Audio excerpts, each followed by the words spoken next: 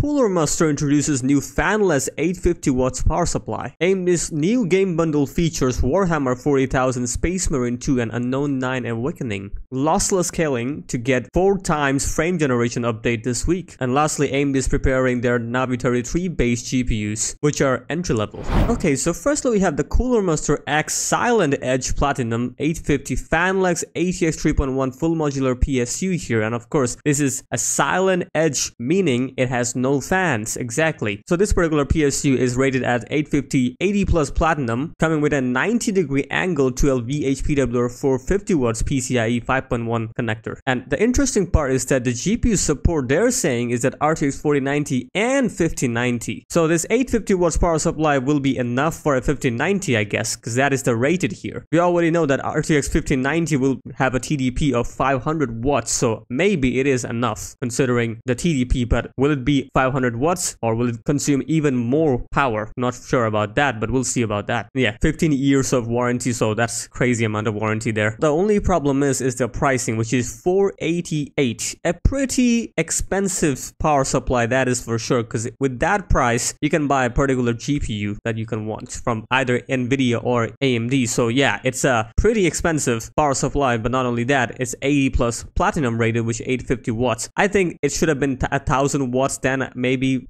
this was more of a justified pricing, but I'm not sure if this is a very good pricing or not, or even close to good, because this is way too expensive. The funny thing is, you, you also have a cheaper version of that, which is the 1600 watts 80 plus platinum, but it's cheaper, 309. And it also supports GPU, which is RTX 4090 and 5090. So no idea what is happening there that they're going for something like this, but that expensive. So maybe just because of the perk silence, it will have a pricing like that, but I don't think it's really worth it. But if you're, you know, interested in a silent build, you can grab that, although not a good investment. Next up, AMD is featuring two game bundles for particular AMD Ryzen and Radeon GPUs. So let's look into it. This game bundle is for the Unknown 9 Awakening and Warhammer 40,000 Space Marine 2. That is the two new upcoming games that will be releasing soon. And now AMD is basically partnering up with them. So currently these are the processors and GPUs that support this bundle. So as you can see, all the eligible AMD products are the 7000 series, not 9000 series yet, but I'm guessing they will be adding it soon because, you know, 9000 series will be releasing pretty soon. I'm pretty sure of that. So they will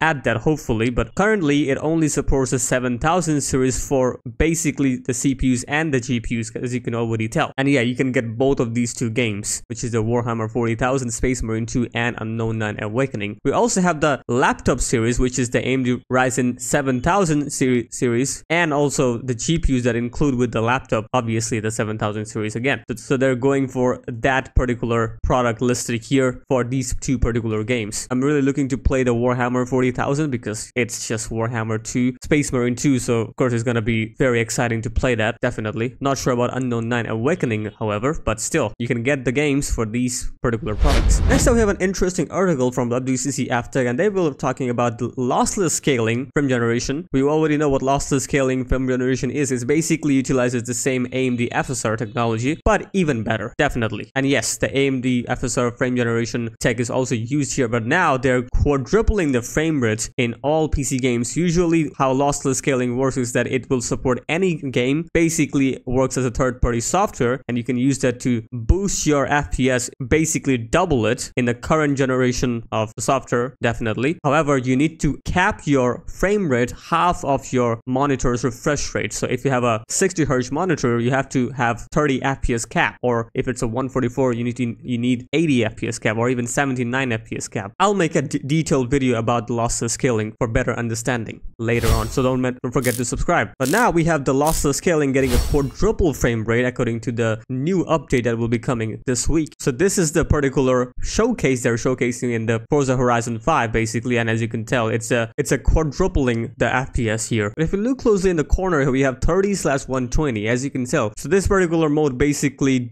quadruples the FPS and as I said you have to restrict your FPS meaning you, you have to cap your game FPS to half of your frame rate. Basically if you have a 60 60 F 60 Hz monitor, you have to play in the 30 FPS mode. But the thing is, it's not too bad considering the base frame rate will be quadrupled to four times, meaning it will be constant 30 FPS, smooth. It will feel like you're playing at the, ga the game at 120 FPS, you know, when you quadruple the 30 FPS game, of course. But still, it's a huge improvement, and I will be making a video about this, so yeah, we'll see about that. And lastly, we have the AMD preparing their Navi 33 based entry-level GPUs, two of them, of course, which is the Radeon RX 7400 and the RX 7300. So basically similar to the previous generation's 6500 XT or even 6400, but this time we have 7400 and 7300, no 7500 XT or anything. So that is quite interesting. I'm guessing 7400 will be replacing the naming scheme of the 7500 or having the same tier GPU level probably. And of course, for 6400 case, we will have we will have RX 7300. We'll see about that. So this is the leak coming from the user at Komachi Ensaka, of course, and we have the Radeon RX 7400 and RX 7300. No specs have been leaked here, but just the ID, which is the 7499, probably giving you the sense that it's gonna be Navi 33 as mentioned here. So yeah, it basically uses the same SKU, which is the 7600 XT and non-XT variants, but it's gonna be a lower tier version definitely, because the name would suggest that. So VideoCardz have done a comparison list here, of course. So according to VideoCardz, they're expecting the 7400 would be having less than 2048. Well, obviously, but how much less we have no idea about that. But as you can see, that 7600 XT and 7600 already has 2048 stream processors. When you look into the 6500 XT from previous generation, it had only 1024 stream processors, basically half of that.